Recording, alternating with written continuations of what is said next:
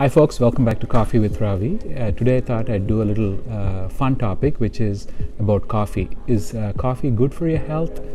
And uh, what does caffeine do to the body? Coffee and tea are among the most popular beverages in the world.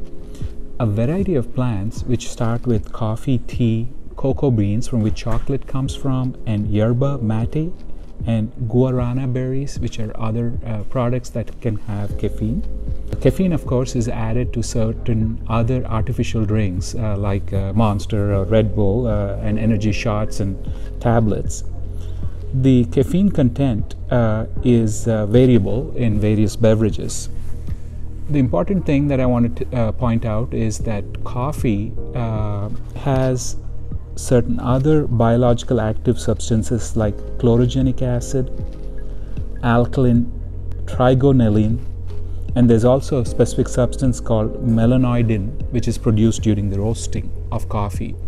These seem to have some beneficial effects because they're in they have certain other uh, uh, biological activity on the human body, which may be of some benefit, as we'll get into. A common question that I get asked is what's the common caffeine content in each cup that we consume of coffee? The a 12 ounce cup of coffee that's brewed the standard way, such as in a coffee shop, has about 235 milligrams of caffeine in it. A shot of espresso has 63 milligrams. Energy shots can range anywhere from 80 to 100. Uh, some some of the over-the-counter drugs for alertness have about 200 milligrams, and headache medicine with caffeine has 65 milligrams with it. So there's a whole range of it. Coffee is normally absorbed uh, within 45 minutes of taking coffee and peaks shortly after that and lasts for about two hours. The thing to realize is that as coffee is metabolized, some people metabolize it faster and some people metabolize it slower. In fact, there's some genetic tests available uh, to check with that. Smoking seems to accelerate it. In other words, if one smokes and drinks coffee, the caffeine is metabolized out of the system faster. Pregnancy, on the other hand, seems to slow down the met- metabolism of uh, caffeine. There are certain drugs like ciprofloxacin, some cardiovascular drugs, albuterol type inhalers, etc., that can actually increase the level of caffeine because they slow the metabolism down. The next slide, uh, which uh, looks at caffeine intake on different organ systems, and I'll go through it because I think this is really the meat of the talk. Caffeine on the brain, we all know, increases the mental performance and alertness. However, if taken later, as we know, uh, in the day, it can cause insomnia, and high doses in some people can cause anxiety.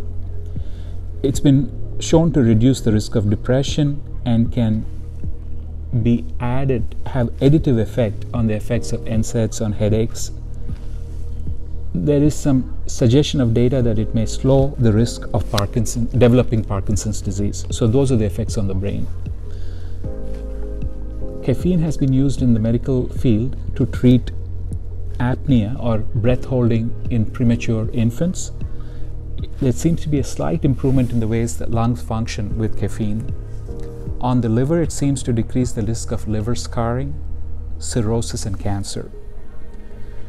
On the kidney tract, we all know that the more coffee we drink, the more times we go to the bathroom because that causes the uh, body to uh, push out more water. On the heart, on the short term, it raises the blood pressure but doesn't seem to have any long term uh, side effects. Uh, patients, uh, uh, people who drink coffee on the long term, the blood pressure, do- it doesn't have an effect. On the endocrine system, it helps overall uh, not helps, but rather initially slows down the effect on how the insulin acts on the muscle. But I think that's a very transitory side effect and goes away. So, in other words, it's a wash as it relates to the endocrine system. On the reproductive system, especially in females, there's a little risk of slowing fetal growth and increasing the risk of pregnancy loss. So, that's something to think about during pregnancy. Can you get coffee poisoning? Rare, but can happen in the following scenario.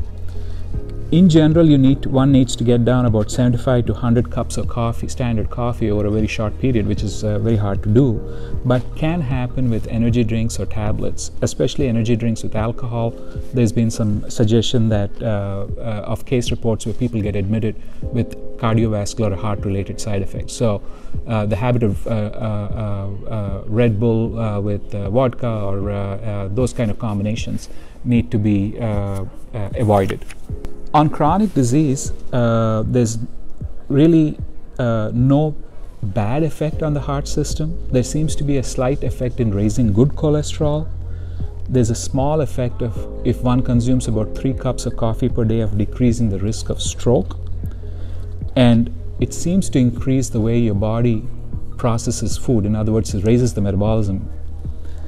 There's a decreased risk of melanoma skin cancers and non-melanoma skin cancers as well as breast cancer and prostate cancer if you look at it as a group these are small trends the thing to understand about literature with coffee is that sometimes it's hard to study these are retrospective in the sense that people need to remember how much they drink so it's really not very accurate data but within the realm of interpreting data these are the trends so in other words these are trends don't take it to the bank in conclusion I think, based on this uh, review, that coffee is safe uh, and uh, can perhaps reduce the risk of several chronic diseases.